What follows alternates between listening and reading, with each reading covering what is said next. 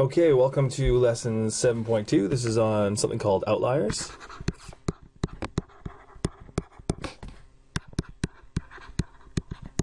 Okay, so um, outliers is probably something you haven't seen before, but uh, basically, when we have a data set of numbers, an outlier is any number in that data set that is significantly different.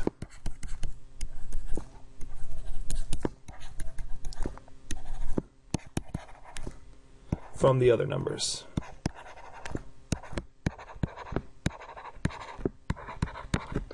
Okay, I mean, if you look at the word itself, uh, outliers, it literally means lies outside.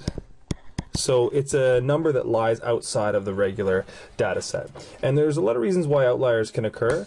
Uh, they can be either uh, larger or smaller than the rest of the data set.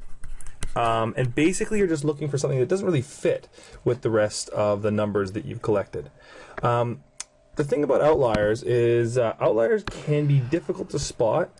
And the thing about them is, depending on what you're measuring, it may actually make sense to eliminate them. So when you take the average, whether it's the the mode, median, mean, what have you, uh, sometimes we're just going to uh, take the outliers and just kind of throw them away and not deal with them. So let's look at a couple of quick examples here. Okay, so Mr. Trask is doing his 30 day challenge to try to increase his vertical. He records how high he jumps over one week period, and um, we have to determine the mean with and without the outliers. And then this last question here is actually the tricky one, and that's should the outliers be omitted? So should we use them or not? Um, the first thing I want you to do is is to identify any numbers that might be our outliers. So we can see each day uh, his vertical as he measured it. Um, one way to visualize this data is to do a number line. So uh, we could do a number line and imagine that this starts here at 0. And then let's say we're trying to put 32 on this number line. Maybe we could put 32, I don't know, somewhere around here. Okay, let's fill in these other data points and just see what uh, see what it looks like. So 29 would be uh, pretty close to 32, but I guess slightly less. So maybe 29 somewhere around there. 33, on the other hand, is uh, right beside 32. Uh, 47, now 47 is actually a fair bit bigger than these other numbers, so maybe 47 lives somewhere over here. 30 would be uh, right in between here somewhere. Uh, 32, well, we've got another one of those, so let's put a little comma 32. I've Got two of them. And then I've got a 34 as well.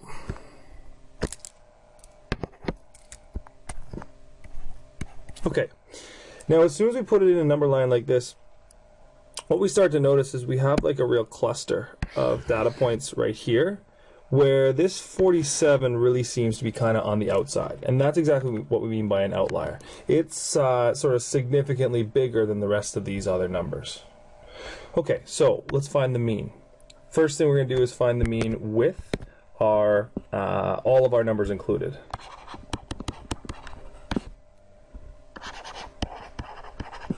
So remember to find the mean. We're going to do the sum of all numbers.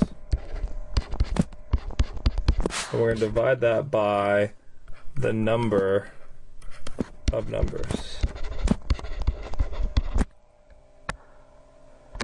Okay, so 32 plus 29 plus 33 plus 47 plus 30 plus 32 plus 34 and there are seven days in the week.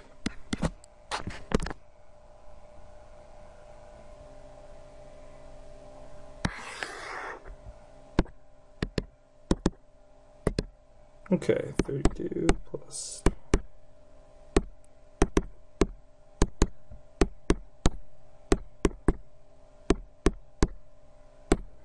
divide this by 7, and I get right around 33.9 centimeters. Okay, now let's calculate our mean without. So we'll do the same thing, but we're just going to ignore that 47. So 32, 29, 33, skip over the 47.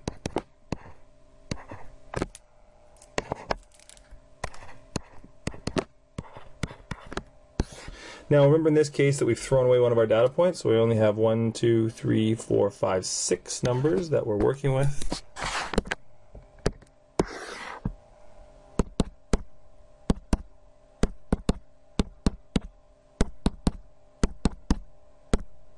So divide by 6, and I get right around 31.7 centimeters. Now, believe it or not, that's actually the easy part. Uh, the tricky question is this one right here. Let's just go back to is the question is should the outliers be omitted? So basically, what this question is asking is uh, if someone was asking what my vertical is, should I tell them it's 39, 33.9 like I calculated over here, or should I tell them that it's actually 31.7? What you need to recognize is uh, if I jumped every day for uh, an entire week, and every day I jumped, I kept getting right around the right around 30, so 32, 29, 33, 30, 32, and so on. Every time I jump, I jump about 30 centimeters in the air, except for this one day, this one crazy day, I jumped 47 centimeters in the air. Um, that seems almost unbelievable. And that what's actually pretty likely is maybe I actually made a mistake when I measured my vertical. Either I, I made a mistake measuring, or maybe I wrote down the wrong number, or who knows what. This number is just kind of so unlikely compared to the other ones. So what we would actually do is we would actually omit um, that 47. And so we would use this number right here. We will omit 47 centimeters because it is probably an error.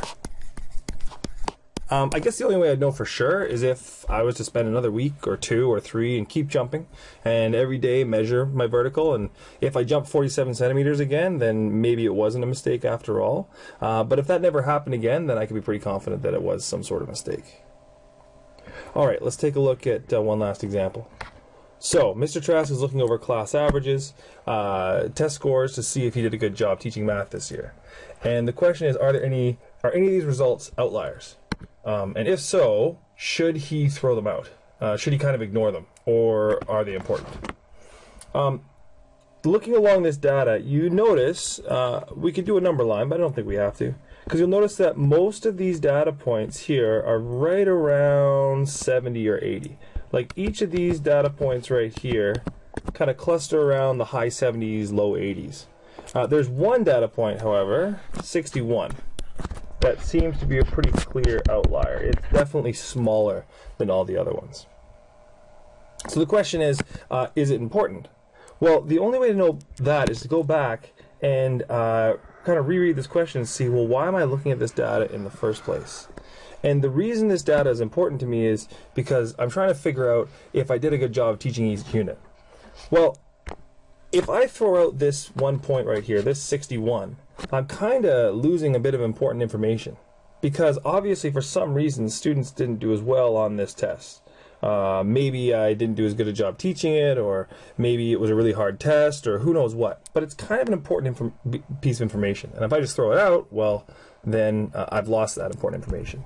So in this case, we would not omit the outlier.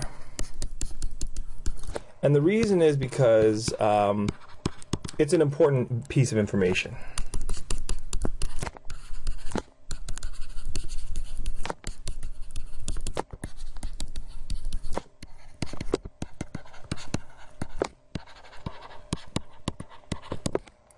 Okay, so to sum up, uh, an outlier is any number that's much larger or much smaller than your data set. Uh, sometimes we throw them out if it uh, looks like it's an error or a mistake, but if it's an important piece of information, we're always going to keep it. All right, that's it.